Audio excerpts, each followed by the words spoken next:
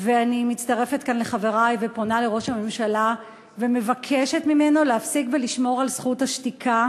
כמה זמן עוד תשמור על זכות השתיקה, אדוני? אתה הרי יודע לדבר נהדר, בעיקר אתה מדבר נהדר באנגלית, כשאתה מסביר לציבור בחו"ל איזה זכויות מדהימות יש כאן לקהילת הלהט"בים. איזה זכויות מדהימות, אבל כשזה מגיע לכאן, לכנסת ישראל, לא שמענו מה דעתך. מה דעתך על מתן זכויות לקהילה? מה עם נישואים אזרחיים? מה עם למשל חופשת לידה לבני-זוג מאותו מין? מה עם הלוואות לדיור לבני-זוג מאותו מין? ואיסור על אפליית תלמידים? והחזר הוצאות כספיות למי שנישא בחו"ל? משום מה, שמענו את כולם, שמענו את הבית היהודי, שמענו את יש עתיד, אחד עושה מניפולציה על גבו של השני וכנסת ישראל משלמת את המחיר והקהילה הגאה בוודאי שמשלמת את המחיר ורק ראש הממשלה שותק? פתאום הוא שומר על זכות השתיקה? אז אני קוראת לו ומצטרפת לקריאה של קהילת הלהט"בים אדוני ראש הממשלה ביבי נתניהו, הגיע הזמן שתצא מהארון. תודה רבה.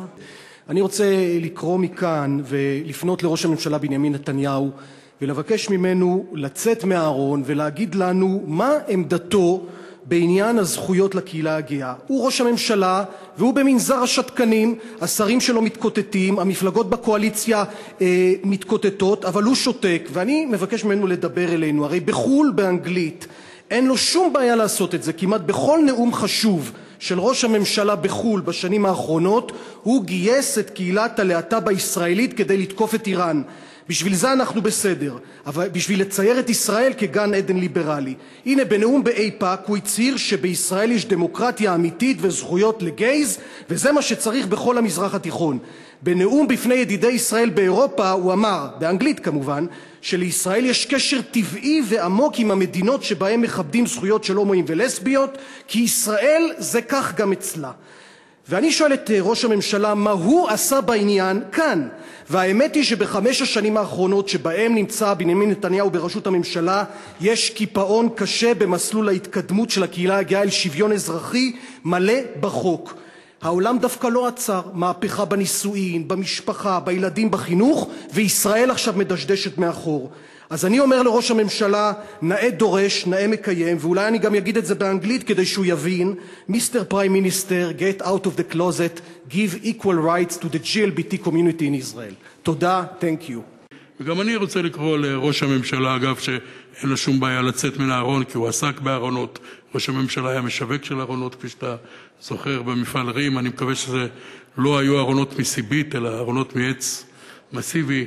צא גם אתה החוצה, וכדי, ראיתי שחברי ניצן הורוביץ התחיל מסורת לומר את הדברים בשפות, אז אני התייעצתי עם חברי הטוב מאיר כהן, השר מאיר כהן, היועץ הלשוני שלי, ואני רוצה להגיד את זה במרוקאית, גלשפל מריו.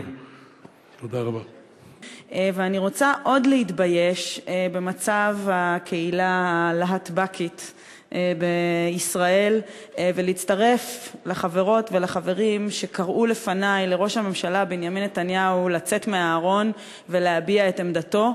אה, אני חושבת ששוויון זכויות לכל אזרחיות ואזרחי ישראל לא יכול שיישאר ויכוח בין יש עתיד לבית היהודי בלבד. זה לא קטטה בגן בין שני אחים, זה נושא של מדיניות לאומית ומן הראוי שראש הממשלה יגיד את דברו בעברית לנו, אזרחיות ואזרחי ישראל, ויצהיר גם על עמדתו וגם מה הוא מתכוון לעשות בנדון. תודה.